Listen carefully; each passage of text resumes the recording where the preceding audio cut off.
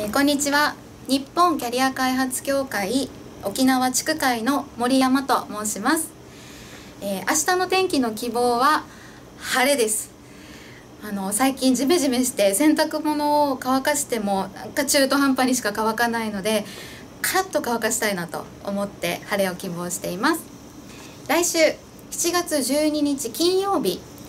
えーえ、働き方改革元年から始める従業員のための働き方支援というタイトルで講演会を実施いたします。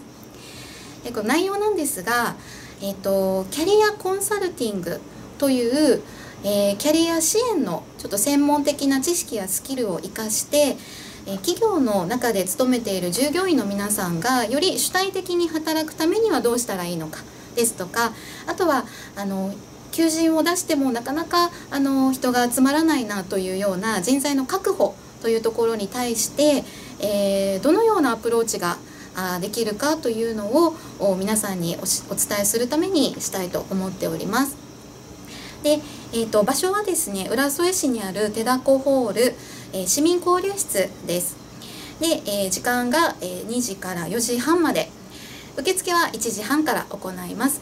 で参加料はなんと無料になっております。申し込み方法なんですけれどもこの、えー、チラシの裏面にあのファックス申し込み書がありますのでこちらに記入いただくかあとは Facebook を働き方支援というキーワードで検索していただくとイベントページが出てきます。そこから参加ボタンを押していただいても大丈夫です。この申し込み用紙は Facebook にアップしています。どうぞたくさんの方のお越しをお待ちしております。